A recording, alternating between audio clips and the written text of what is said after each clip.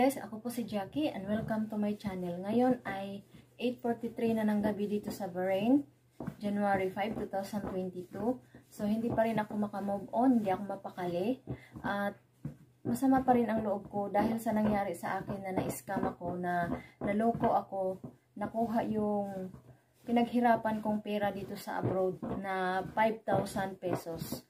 So, kanina, hindi ako sumama sa amo ko dahil pupunta sila sa sukna naman at kasama niya yung anak niya.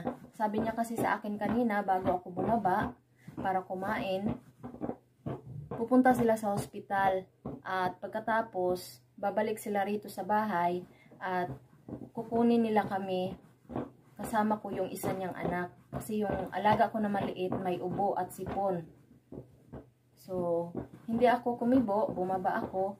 At nung nasa baba na ako, siguro nagbago yung ang isip ng amo ko. At sinabi sa akin na dalhin ko yung mga gamit sa sasakyan. At pupunta sila sa ospital tapos didiretso na dun sa souk kung saan may negosyo yung amo kong lalaki. So, tinawag kasi ako ng anak niya kanina. Sumigaw kanina dun sa taas. Tapos, ang sabi ko, matutulog ako. Kaya siguro, na realize niya rin na oras ng pahinga ko. Kaya sabi niya, kung gusto mong matulog, matulog ka na lang. So, ngayon, nandito ako, nag i ako ng mga damit.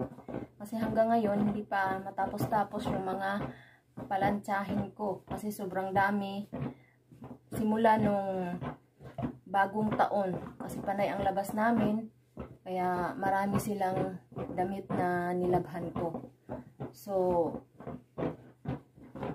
isi-share ko rin sa inyo guys yung conversation namin ng nag-scam sa akin. So ilalagay ko dyan yung conversation namin para malaman nyo rin. At yung picture nila ilalagay ko rin dito para malaman ng buong mundo at para wala na silang mabiktima. Kasi mahirap naman na nagpapakahirap tayo dito sa abroad. Tapos, ganun lang ang gagawin nila. Kumbaga, hindi sila marunong maghanap ng trabaho, magbanat ng buto para kumita ng pera na marangal. Gusto nila mabilisan lang na kita. So, masama pa rin yung loob ko. Hindi pa rin ako mapalagay dahil sa nangyari. Kasi first time kong ma-scam. Dahil nga sa kadahilan may importante akong babayaran, kaya naghanap talaga ako ng paraan para makapangutang sana. Pero ang nangyari, ako pa yung naloko. So, ganun pa man, hindi pa rin ako titigil hanggat hindi sila mahuli. Kasi hindi lang pala ako ang naloko nila. So, nag-post na ako sa mga group sa FB at marami rin ang nag-comment na na-scam din sila ng mga yon. So, kailangan mahuli sila para wala na silang mabiktima na kagaya kong OFW. Hindi po biro ang kumita ng pera dito sa abroad. Yung pera na yon, pinagpuyatan ko yon, pinagpaguran, at dugo at pawis ang pinuhunan ko dun para kumita ng pera na yon. Hindi ko po pinulot dito sa abroad yung pera na yon na kinuha nila sa akin. Sana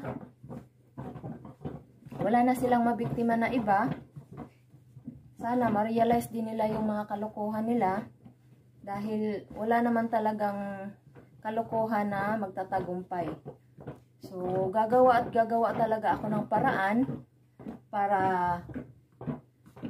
mahuli sila. Dahil ayoko na mas marami pang katulad ko na mga inosente na may mga problema sa pinansyal Tapos, mabibiktima lang sa mga ganong klaseng tao. So, hindi po biro ang magiging isang OFW. So, doble yung sama ng loob ko kasi na-scam ako at may problema pa ako dito sa amo ko.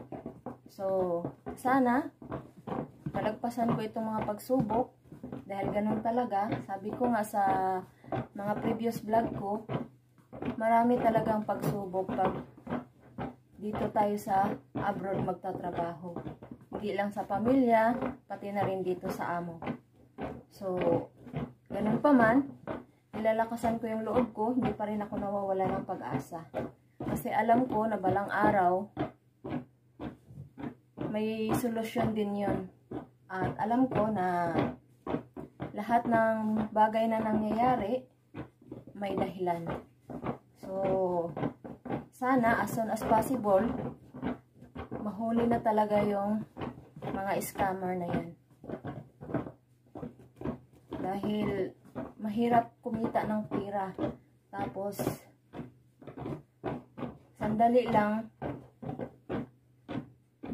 hindi na sila nagpapakahirap, kita na sila agad ng ilang libo. So, 5K din yung nakuha nila sa amin. Dahil nga wala nga kaming maayos na komunikasyon ng asawa ko dahil busy ako at hindi parehas yung oras namin. Kaya ganun ang yung nangyari. So sana masolusyonan ko itong problema ko na to. Sana maging maayos din ang lahat.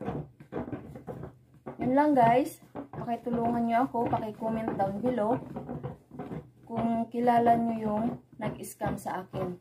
Ayan yung picture niya. At i-PM nyo lang ako sa aking Facebook account. I-search nyo lang yung pangalan ko, Jackie Pejidero Santa Ana, yung sa Facebook ko. Kasi dalawa yung Facebook account ko. Pero mas madalas ako mag-online sa Jackie Pejidero Santa Ana. So, yun lang guys. Maraming salamat sa panonood. At maraming salamat din sa mga nag-subscribe, sumuporta sa aking YouTube channel. At pasensya na pala sa mga kalat sa likod ko guys. Damit ng kasama ko yan. Busy din kasi siya. Umalis sila ngayon. At wala kasi kaming masampayan dun sa labas, kaya dito kami sa loob ng kwarto nagsampay. Eh, dito yung space kung saan ako mag-i-stay, mga mlansya. Kaya kitang-kita yung mga damit nyo dyan, yung mga uniform. So pagpasensyahan nyo na guys. Maraming salamat sa inyo at God bless.